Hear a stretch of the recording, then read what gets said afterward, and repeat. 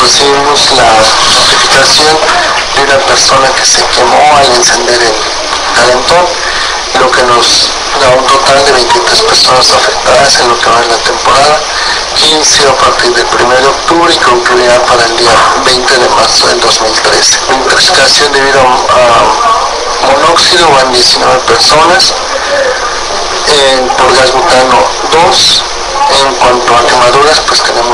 personas. En total nos dan 23. Y como sucede